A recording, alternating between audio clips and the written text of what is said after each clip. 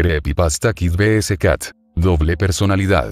Lo que estás a punto de escuchar es bastante gráfico, así que trataré de no asustarte. Me gustaban mucho Kik Butowski, Jimmy Dwoshes y Lab Rats, pero nunca he oído hablar de esto, todavía. He visto Kid vs Cat, sí, pero algo sobre el episodio final de ese programa, The Cat Went Back, me hizo verlo de manera diferente. Me conecté en línea para ir al sitio de Kid vs Cat y vi que la lista de episodios mostraba la temporada 3, pero todo lo que mostraron fue una parte y dos episodios perdidos que parecían haber sido eliminados de la serie. Su número de episodio fue S013 27 y 28. El título era Personalidad Dividida. Nunca había visto a Kid vs Cat tener un episodio perdido antes, ¿por qué no lo había hecho? ¿Y cómo puedo conseguirlo antes de que lo haga alguien más? Resulta que en realidad sé que el creador del programa, Rob Boutelier, era el vecino de mi tío y lo contacté en un bar un viernes por la noche. Estaba un poco borracho, así que tuve la oportunidad de preguntarle sobre el episodio perdido que hizo. Le pregunté al respecto y estaba tan intoxicado que solo sonrió y dijo, Sabes, estaba en un lugar oscuro cuando hice ese episodio, seré sincero contigo. No quiero que mi negocio se desmorone ante mí. Pero, cuando el IRS dice que debes ir, debes irte. Le pregunté si podía darme detalles sobre cómo ponerme en mi poder, y él simplemente escribió algo en un pedazo de papel y me lo entregó. Miré, y era un enlace de descarga, que no mencionaré por razones razonables que explicaré al final. Me fui a casa después de tomar unas cuantas fotos con Rod y escribí el enlace en mi computadora portátil. Cuando hice esto, mi computadora se volvió loca, fue el peor virus desde la creación de la tecnología. Después de hacer el proceso de reinicio de reiniciar mi computadora portátil, volví a escribir el enlace en mi computadora, y ¿qué sabe? Por fin funcionó. Todo lo que vi fue una pantalla negra con una pared de texto púrpura. Y debajo del texto estaba el enlace. Hice clic en él. Y fue un episodio de Kid vs Cat. La introducción era normal, pero la pantalla de título estaba un poco apagada. Mostraba a Cat mirando fijamente al espectador que parecía molesto con los ojos entrecerrados, y esa no es la parte extraña. Mostraba el lado izquierdo de Coop y el lado derecho de Kat todos juntos, como si se tratara de un retrato a medias en un fondo oscuro y claro, de lo que parecía el cielo y el infierno.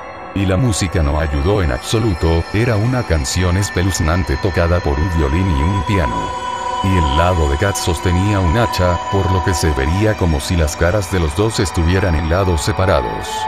Pero la línea en el medio hacía que se viera diferente. La canción de la carta del título. El espectáculo comenzó con Coop caminando a la escuela desesperadamente, él habla consigo mismo, pero lo que dice fue deprimente y triste.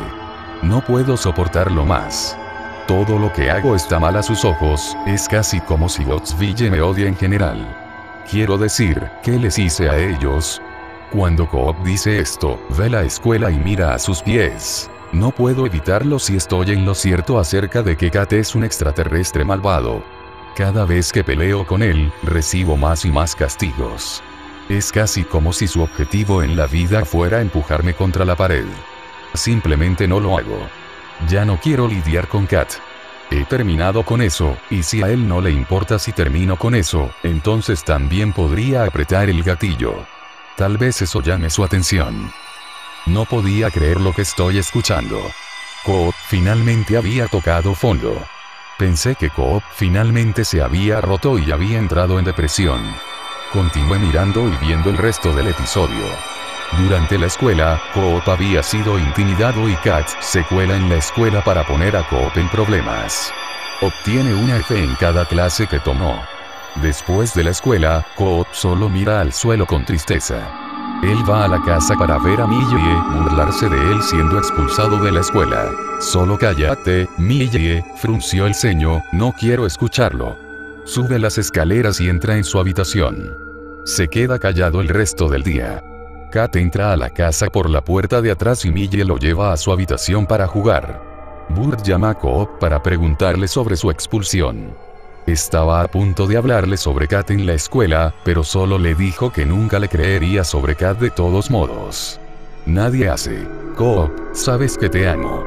Pero lo que dices sobre nuestro gato, es todo mentira. Entonces, todo lo que digo, como me rasparía una rodilla es solo por atención. Coop dice. ¿Tienes alguna idea de lo mucho que traté de protegerte a ti y a esta familia de ese matón morado? ¿Cómo sacrificé mi vida por esta ciudad? Si fuera solo para buscar atención y hacerla por mí mismo, entonces debes abre tus ojos. Las lágrimas brotaban de los ojos de Coop. Hijo, dice Burt, sé cuando me estás mintiendo, no está bien culpar al gato por tus contratiempos. ¿Contratiempos?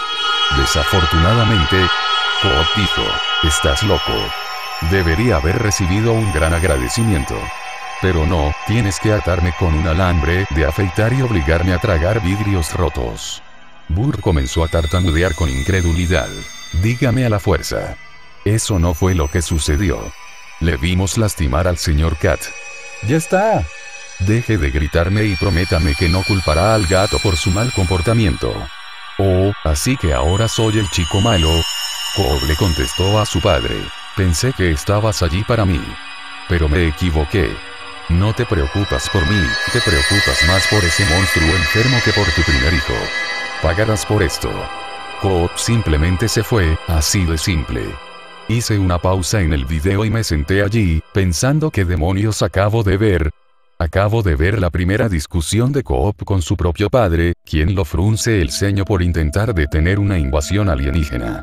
Pensé que Kid vs Cat sería como todos lo describieron, divertido, pero bipolar. Pero lo que estoy viendo en este momento, fue absolutamente, deprimente y, muy triste. Continúe el episodio y Coop cierra violentamente la puerta del dormitorio. Esa noche, él simplemente se acuesta en la cama, llorando por primera vez en la serie. Sonaba dolido y muy lamentable. Estas no eran lágrimas de un niño si él o ella se rascara la rodilla o no conseguían lo que querían. Estas fueron lágrimas de traición y tristeza. Tenía su cara profundamente en su almohada, habría estado gritando si su cara no estuviera en sus almohadas. Golpeó su puño contra la pared mientras se levantaba, con la otra mano sosteniendo la almohada contra su cara. Para ser honesto, yo estaba desconcertado y también lo compadecía. No quería terminar así, siempre siendo tratado como una mierda solo por ser un héroe local. Coop apartó la almohada de su cara y se quedó allí sentado respirando pesadamente. Estaba sudando y su cara estaba roja de llorar. Se levantó de la cama y solo miró por la ventana hacia el cielo nocturno. Vio los millones de estrellas y le preguntó a Kat Nebulans del episodio de Cat Went Back, que comenzó a llorar de nuevo. Kat escuchó esto en el techo y supo que su plan estaba funcionando. Al día siguiente, Coop estaba luchando contra Kat y de repente, fue tomada por los robots gigantes de Cat Commander. Dennis trató de salvarlo, pero fue atrapado también. Y no puedo recordar el resto porque me recordó a The Cat Went Back Part 1. Se los llevaron a Cat Planet, se los encarceló Forever, yada yada, y así sucesivamente. Como dije, no quería entrar en detalles sobre esto. Así que déjame llegar a donde termina. Y es, con mucho, el más impactante. Cuando estallaron, Coop y Dennis tropezaron con lo que es la cosa más condenatoria que he visto en una historieta infantil. Entraron en un laboratorio sobre cómo hacer que todos los soldados carnebulan. ¿Qué es este lugar, Coop? Preguntó Denis con terror. No sé, tal vez así es como se generan estas criaturas malvadas de gato. Coop explicó. Coop miró los esqueletos robóticos de Carnevulans y un frasco de vidrio de piel de Carnevulan, se